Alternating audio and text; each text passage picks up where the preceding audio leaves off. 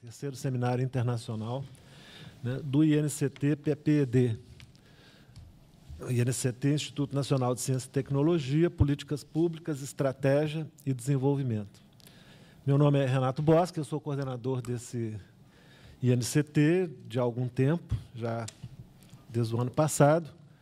E, como eu dizia, né, é, é com enorme satisfação que eu tenho, é, que eu tenho agora esse, esse papel, né, às vezes formal, às vezes mais substantivo, né, de abrir seminários relacionados com o nosso, com a nossa rede de pesquisa.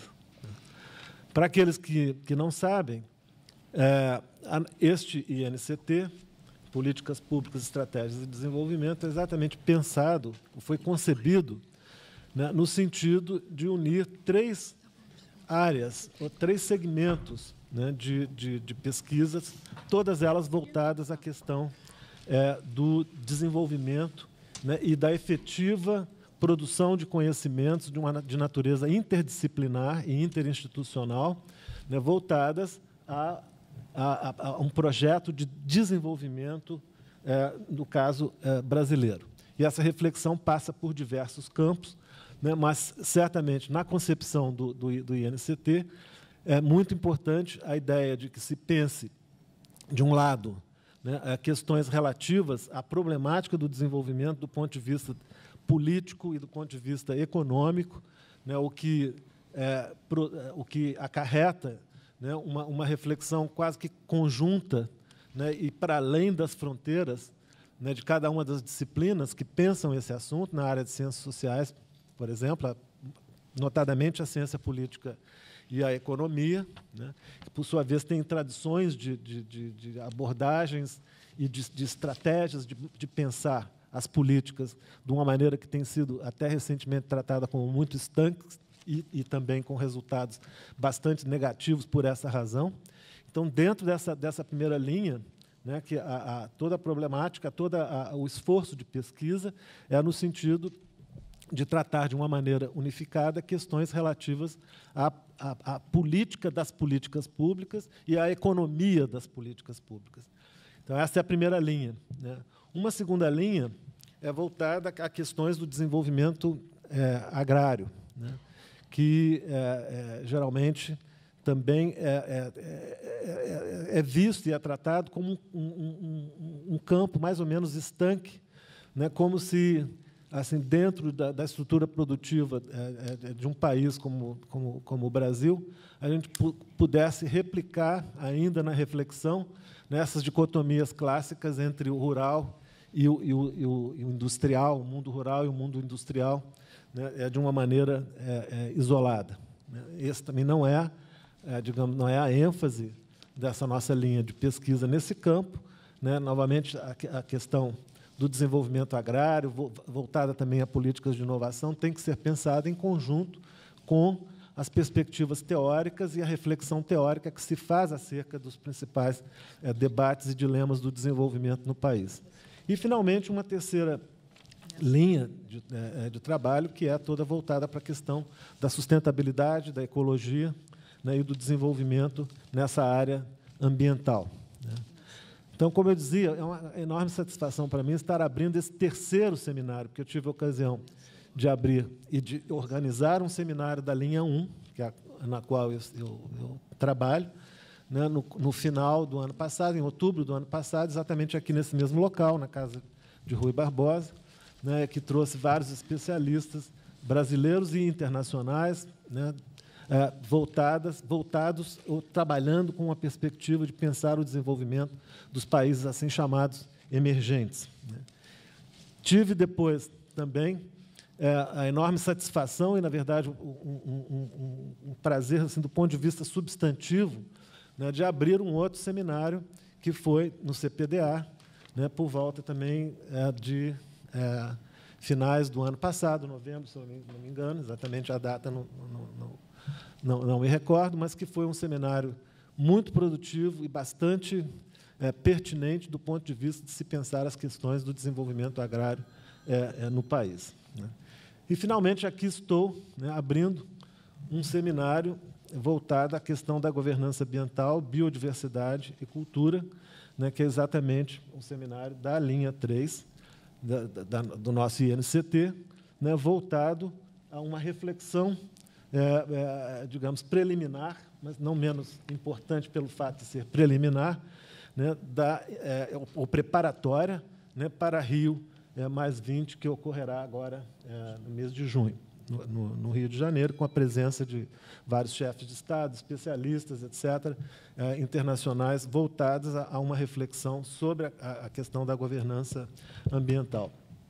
Então, o que eu gostaria de, de salientar aqui nessa abertura, para não ficar apenas no formal, né, a importância e a concepção né, desse, da organização desse seminário, que emerge mesmo do programa né, e que está bastante de, eh, de acordo, eu diria, né, com o espírito do INCT, que é de pensar é, de maneiras é, integradas né, questões relativas ao desenvolvimento né, é, e, principalmente, né, uma, uma, uma, com uma incidência positiva né, e, e, estratégica, como o nome do, do INCT sugere, do ponto de vista da formulação e da implementação de políticas públicas em determinados setores cruciais ao desenvolvimento. Porque aqui nós temos uma discussão, um seminário, né, cujo programa passa por uma discussão, os balizamentos conceituais necessários, em seguida, tratando de discutir temas ligados, ligados à agenda de pesquisa, né, desafios para a pesquisa, passando em seguida por uma reflexão acerca dos desafios para as políticas públicas, né, ah, discutindo a questão de parcerias e inovação, que também eu, esqueci de mencionar, é um dos temas centrais é, também ah, nesta linha e na linha na linha 2 e certamente na linha 1 um também, porque a questão da inovação é fundamental né, para se pensar é, de, de, de, alguma forma, é, digamos, questões relativas ao, ao, ao sistema produtivo é, é brasileiro e de outros países. Né? Sem isso, você não tem avanços, né? numa, numa visão meio schumpeteriana da, da, do processo de desenvolvimento. Mas, é, então, parcerias e inovação como uma, uma outra uma outra é, área, né? Ah, e é, geração do difusão do conhecimento, para finalmente chegar né, a, recomendações de natureza é, prática e de natureza é, é, estratégica né, para a conferência Rio Mais 20, que, que, que terá início logo a seguir, ou em algumas semanas após a organização desse nosso seminário aqui. Então, é com enorme prazer que eu abro essa essa cerimônia aqui de, de, de congraçamento, digamos, dos participantes desse seminário, né, desejando é, muito sucesso na, na, na, na, condução dos debates e esperando realmente que essa que a, a importância da, da, dos temas aqui tratados e das pessoas que, que estão trabalhando esses temas aqui presentes, né, tenham realmente uma incidência é, é, positiva é, no que diz respeito à, à Conferência é, Rio Mais 20. Né? E com isso, então, eu passo a palavra a, aos, a, a dois representantes né, de é, governos ah, que estão aqui presentes.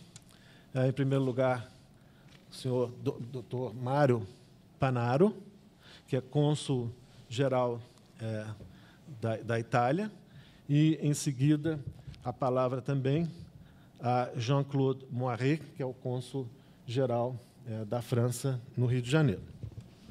Boa tarde e muito obrigado aos organizadores que me permitem de uh, participar ao primeiro evento uh, de um cronograma que só termina para mim no mês de junho e talvez continua nos meses seguintes, porque é claro que Rio Mais 20 é um exercício que, que vem de longe e que vai longe. Então, o Consulado da Itália uh, tem sido até agora uh, engajado em, uh, sobretudo na assistência da, para a nossa delegação que participa da conferência e na assistência para todos os demais atores que seguem e estão envolvidos nestes exercícios. Então, Uh, começamos uh, já no mês de abril com a visita do ministro do Meio Ambiente que uh, visitou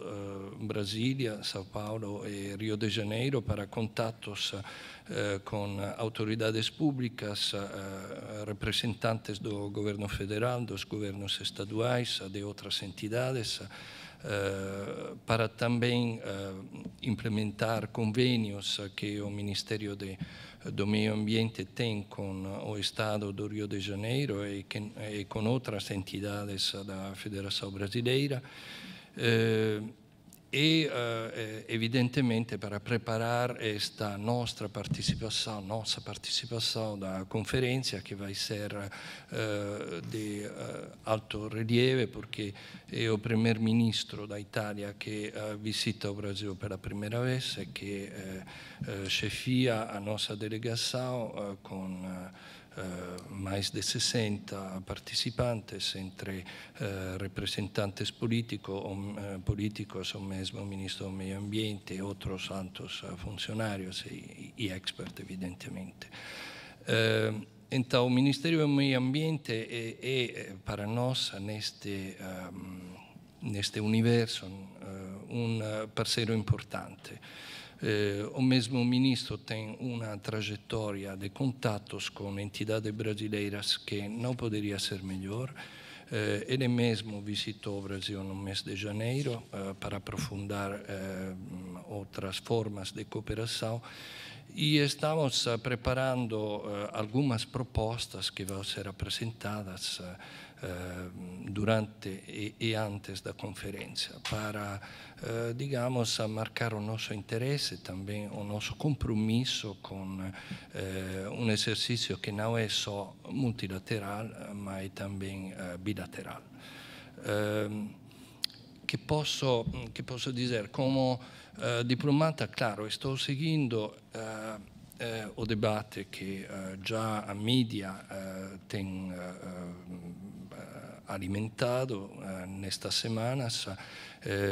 Me interessam sobretudo três áreas. A primeira é objetivos e ações, porque me parece que eh, os primeiros sem eh, as segundas e as segundas sem os primeiros eh, não tem uma garantia de sustentabilidade, como se diz, ou de eh, realização concreta. Eh, por isso espero que eh, construindo sobre uma história que, que tem 20 anos, eles possam, os negociadores, possam chegar a um documento que seja, que seja possível interpretar sem precisar de muitos filtros, de muitos experts. Sempre lembro um comentário de um ex-presidente da República Italiana, quando ao final do nosso Tratado de Lisboa, que fortalecia a integração europeia e que sofreu, uh, digamos, um caminho acidentado, uh, passou por referendum, etc. levou alguns anos para ser aprovado e entre 2004, digamos, e 2009 e quando chegou a ser finalmente assinado constava de 400 páginas. Então, o nosso ex-presidente da República disse: Eu passei mais de um mês lendo este tratado e eh, até agora considero bem difícil de um, entender eh, o que está dentro, apesar uh, de, de todo o conhecimento e de todo o, digamos, a inteligência política que ele tinha. De modo que agora estamos falando de um documento que eh, em janeiro constava de uma dezena de páginas, uma dezena, 20 páginas, agora chegou a várias dezenas de páginas, parece que está sendo reduzido e uh, pode ser que em um uh, formato compact possa chegar a um número menor e uh, a gente possa entender e que a mídia possa apresentar de maneira adequada. Este é o primeiro uh, desejo que eu, como leitor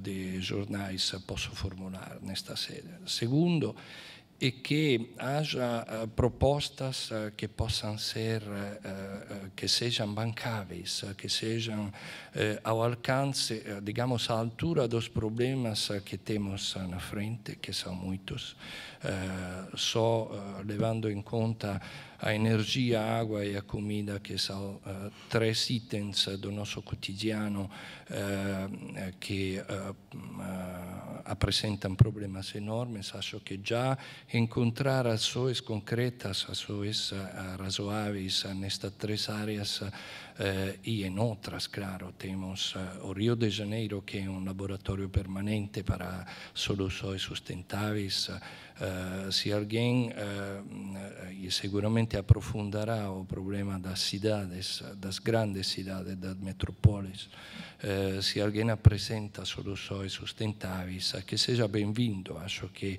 vai ter no Rio de Janeiro uma, uma sede, uma matéria-prima interessante, seguramente com grande interesse e grande receptividade. Tercero, claro, acho que una sintesi de objetivos uh, ações e propostas não pode uh, que ser uma governança que assegure um, uma pilotagem uh, deste, desta navegação difícil.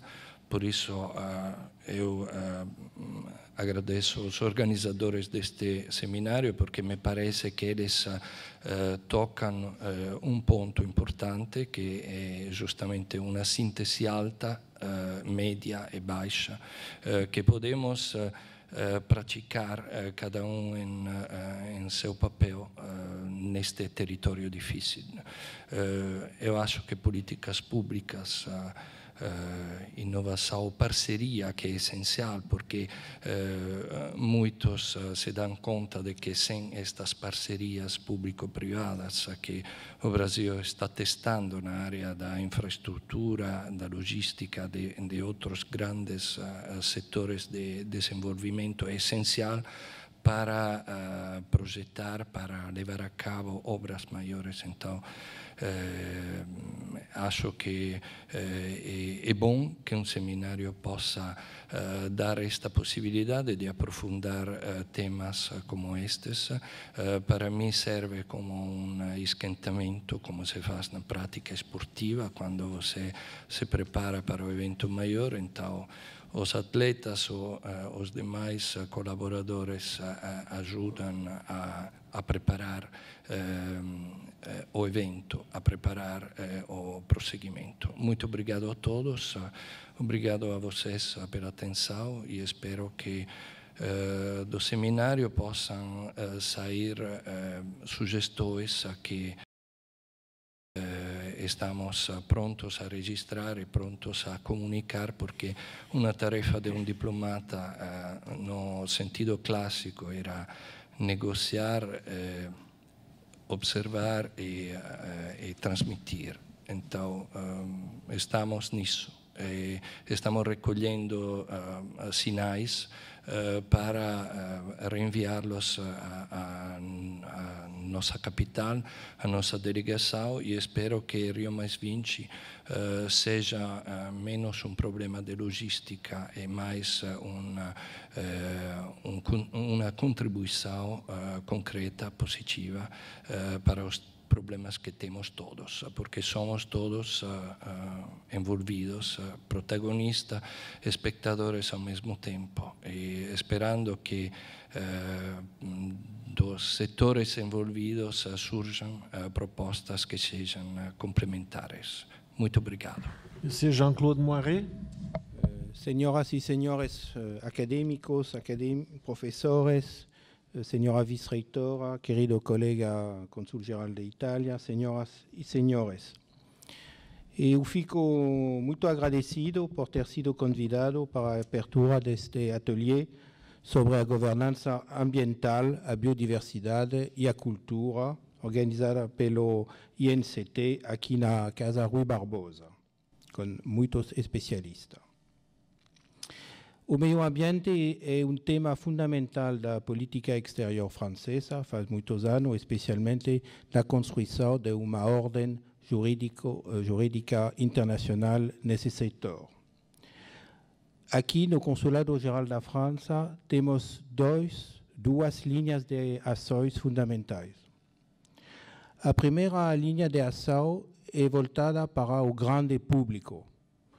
Por quê? Porque o grande público, finalmente, é a força que pode fazer um pouco de pressão sobre os políticos para fazer uma mudança das políticas públicas nesse setor.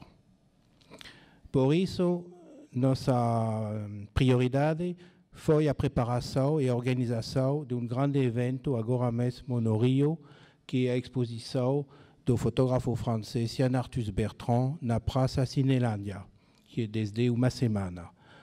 Organizamos essa exposição voltada para centenas de milhares de pessoas na Praça Cinelândia para toda a gente de todas as classes sociais que passam por Cinelândia, com a ideia de conscientizar, entre aspas, esse grande público que tem que influir sobre os políticos. Invito cada um que não conhece o trabalho do fotógrafo Jan Arthus Bertrand, sua fotografia de grande formato, de visitar essa exposição, de ler os textos, de reacionar aos temas debatidos pelo fotógrafo.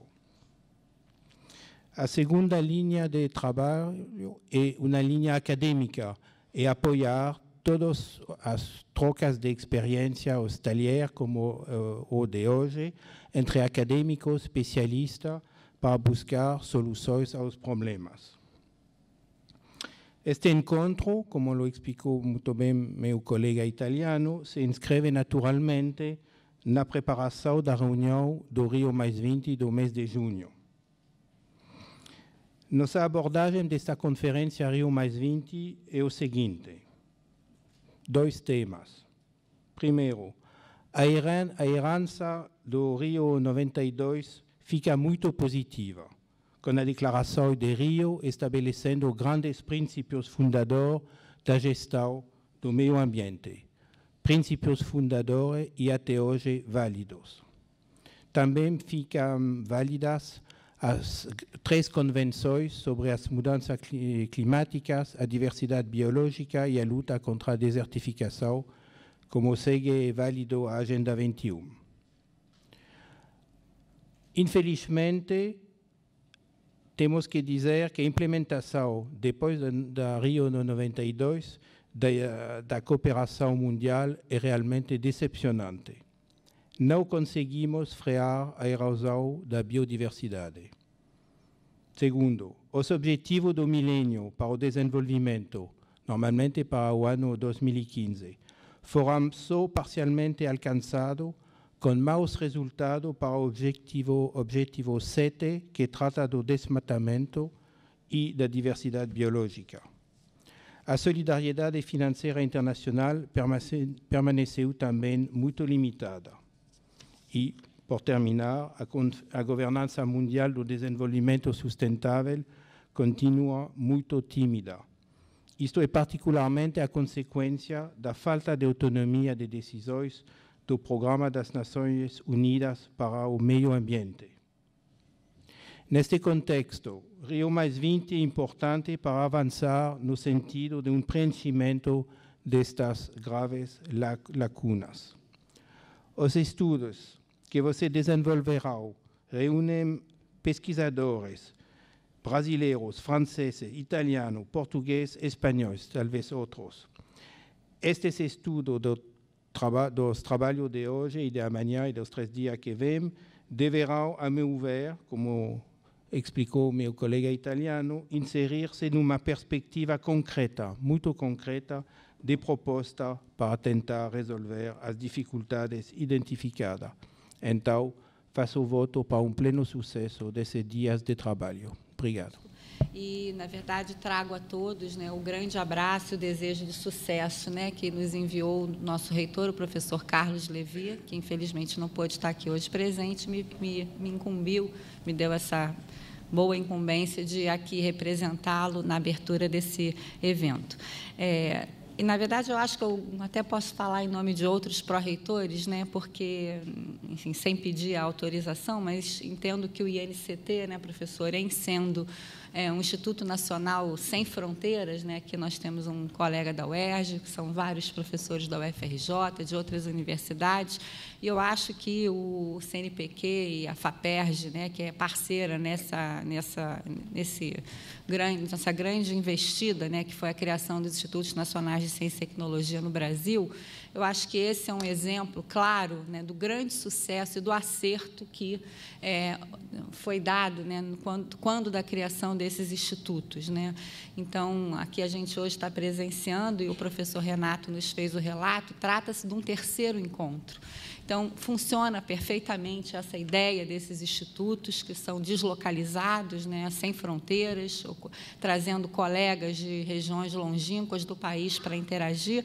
Eu falo, eu falo isso de uma certa forma, até com certo conhecimento de causa, porque também participo de um INCT na minha área, aliás, sou bióloga, né, é, embora a minha. Né, não, não, tema aqui em questão até me é familiar, quando toca na questão do ambiente, da biodiversidade, só afeta isso. Sou bióloga, formada pela UFRJ.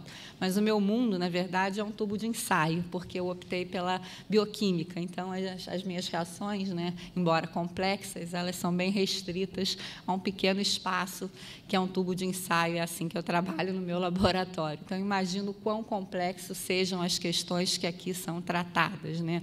Já no meu tubo de ensaio, já, já tenho tanta dor de cabeça para desvendar as reações, as interações, as conversas entre as moléculas que ali estão. Faço ideia, né, quando a gente parte né, para uma governança ambiental, biodiversidade e a cultura. E certamente a gente olhando nessas três palavras, né, é, fica claro a importância hoje em dia da da combinação de saberes. Né? Hoje em dia é muito difícil a gente fazer qualquer coisa grande e útil é, restrita à nossa área de saber. Então, olhando esses três, nessas três grandes áreas, essas três grandes temáticas, eu posso imaginar quanto seja importante o convívio, né, dentro deste NCT, de diferentes expertises, de diferentes saberes. E até, né, enquanto o nosso colega falava, né, a palavra biodiversidade, né, diversidade de, de espécies, me faz agora pensar que a gente está vivendo uma época da conheciversidade ou da expertividade, que seria, na verdade, o que eu imagino, a necessidade da gente combinar e congregar saberes distintos: o biólogo, o geógrafo, o economista, o administrador, aquele que faz a política pública, todos esses contribuindo com as suas áreas de conhecimento em busca de, né, da avançar, de, do avanço da fronteira do conhecimento e também na, na busca pela, pela construção de políticas e de uma, da melhora mesmo da, da vida né, do, dos povos. Né? Então, é, para mim é muito claro o sucesso desse NCT, né, pela, pela, por essa iniciativa aqui hoje é, em curso e a necessidade clara né, da congregação de saberes hoje em dia em qualquer área do conhecimento, e essa se faz muito clara. Então, é, no mais, eu só tenho a desejar muito sucesso, que esse, esses próximos dias sejam é, de né, uma intensa discussão, né, para, né, enfim. E eu estou ansiosa por conhecer, entendi, professor, que no, ao final talvez sejam, seja elaborado algum documento, algum registro, né, para que as discussões, que eu tenho certeza frutíferas aqui que, que serão travadas não se percam. Então, eu já estou ansiosa pra, pela leitura desse documento final que esse INCT virá a dar, né, INCT e todos aqueles que foram convidados a agregar essa iniciativa para aquele que será um encontro, um marco, que é a Rio Mais 20. Muito obrigada a todos, boa noite e, em nome da UFRJ, sintam-se em casa. Obrigada. É, eu gostaria de passar a palavra agora e, e, e aproveitando para agradecer, né, mencionar o enorme esforço é, de organização envolvido na preparação desse seminário.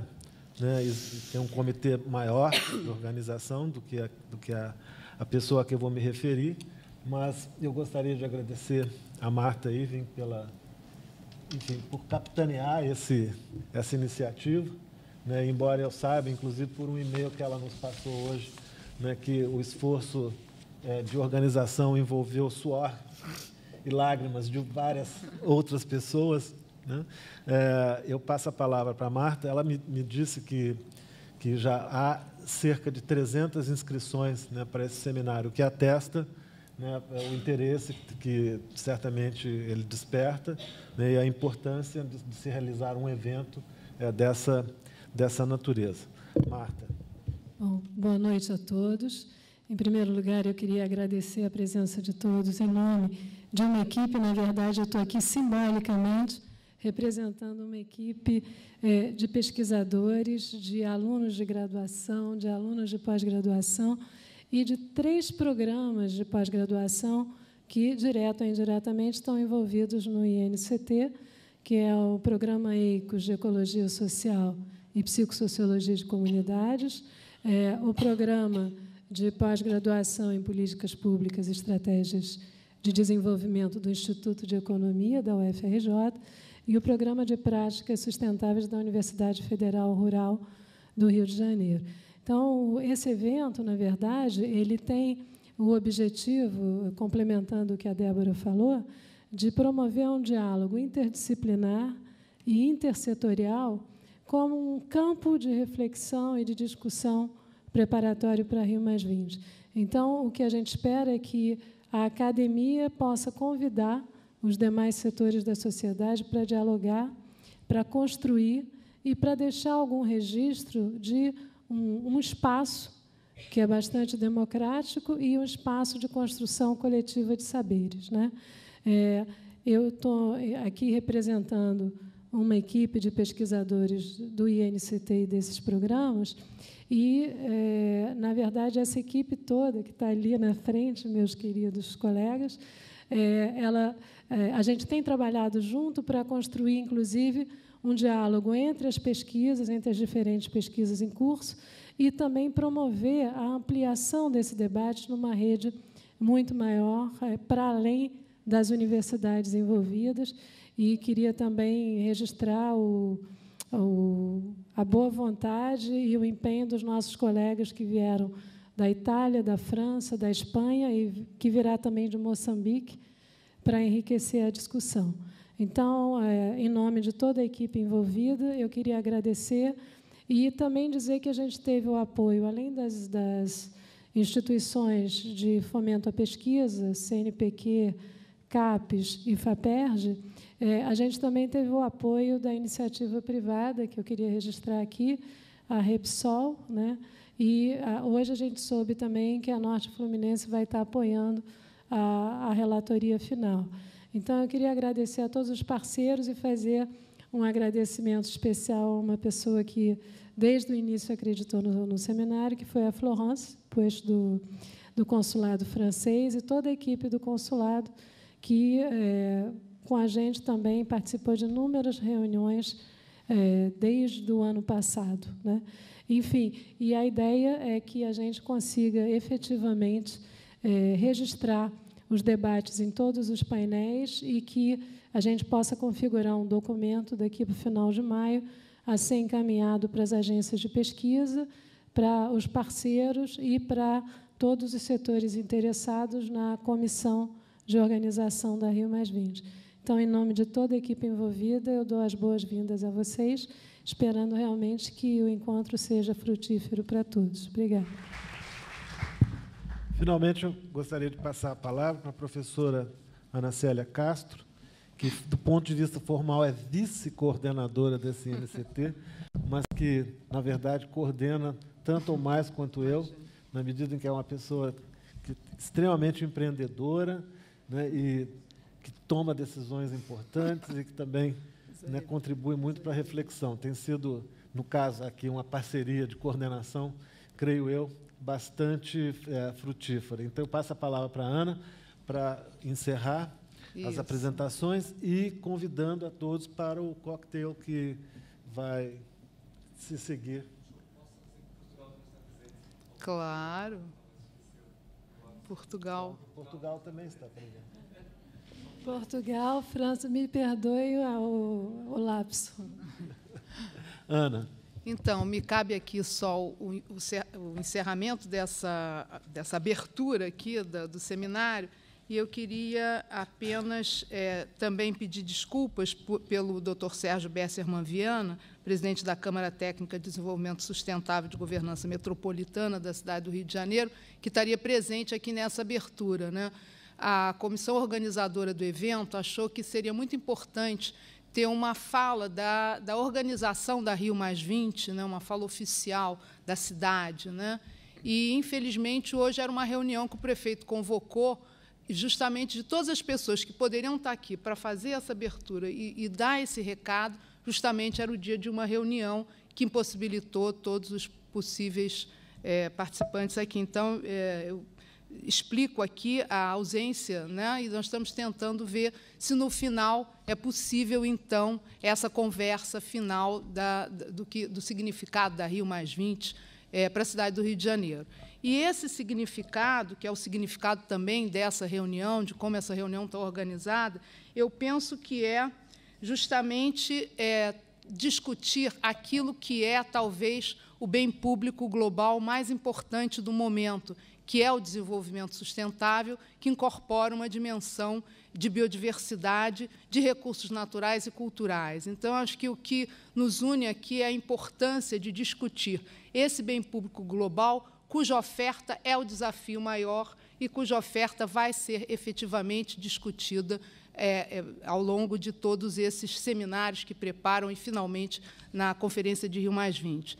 É, o, o, esse escolheu, de uma maneira muito criativa, discutir e preparar-se para esse evento é, com, com temas muito relevantes, quer dizer, para justamente enfrentar esse desafio, para preparar para essas discussões tão relevantes que vão acontecer, os temas que estão aqui no, no, no programa, que começam com a discussão dos balizamentos é, conceituais e terminam com geração e difusão de conhecimento, colocam a importância de um tema central, que é o tema da governança e o tema das políticas públicas. Então, esse desafio da oferta deste bem tão precioso, que é o desenvolvimento sustentável, é, é realmente o maior desafio e a forma como a, essa, esse, esse evento, esse workshop internacional, é, encaminha a discussão, me parece muito adequado para a preparação para as discussões que virão a seguir. Nós teremos também, no, antes da Rio Mais 20, um seminário importante, um seminário internacional, uma conferência internacional da Sociedade Internacional de Economia Ecológica, também, eh, também organizado pelo INCT, também como parte da preparação desse esforço, que é da responsabilidade de todos nós, discutir os temas que são realmente os temas mais relevantes da agenda do momento que estamos vivendo. Então, com isso, eu declaro encerrada. Não, não ainda não? Só que eu gostaria de fazer uma menção é o seguinte. Eu gostaria, não antes de terminar, deixar registrado aqui o agradecimento ao professor Vanderlei Guilherme dos Santos, ah, diretor, ah, presidente da Casa de Rui Barbosa, é, que já é a segunda vez né, que nos cede essas instalações é, bastante é. adequadas e simpáticas né, é, para a realização de seminários e, aliás, nos colocou a Casa Rui à disposição né, para quaisquer eventos que a gente venha a realizar. Que além desse, desse salão aqui maior, né, a Casa Rui conta com outros salões menores que a gente pode organizar workshops, etc. E o professor Vanderlei me diz que quando quisermos podemos fazer uso dessas instalações. Então gostaria de deixar registrado formalmente o agradecimento à Casa de Rui Barbosa na pessoa do é, seu é presidente. Né. Então, muito obrigado e agora sim o coquetel.